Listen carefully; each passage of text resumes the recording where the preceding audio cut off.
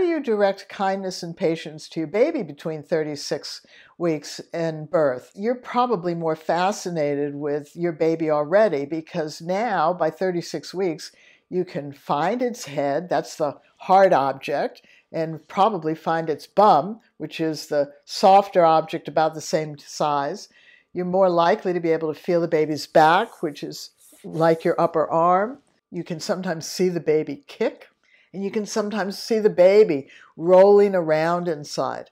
That rolling slows down about two weeks prior to when the baby is going to be born the baby begins to stop moving as much. Part of that is that it's so congested inside the uterus. And the other part is that the hormones in the woman's body are changing.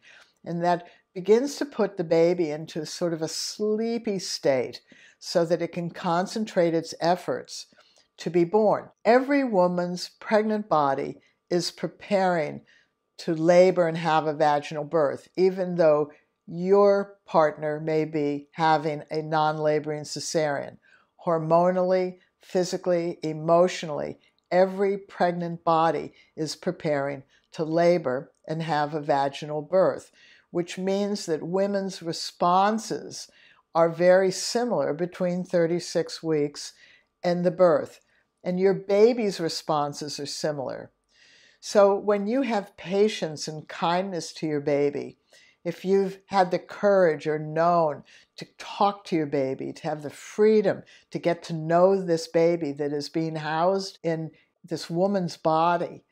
So she has this privilege of communication that you don't have, which often blocks men from communicating as well to their unborn child. And in the previous Fathers to Be Pregnancy Academies, we talked about the importance of talking to your baby do it in the privacy of your own mind. So if you haven't done that already, talk to your baby now. What are you going to be like as a father? What do you hope for them?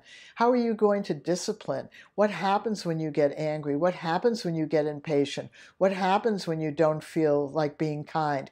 Because as an adult, you experience those emotions as well, and you direct kindness or unkindness to people in your lives and towards yourself and you direct patience or impatience to yourself or people in your life. So this child is just another person in your life, and you need to help them understand how you deal with these skills and how you're going to grow them for the positive as this child enters your life.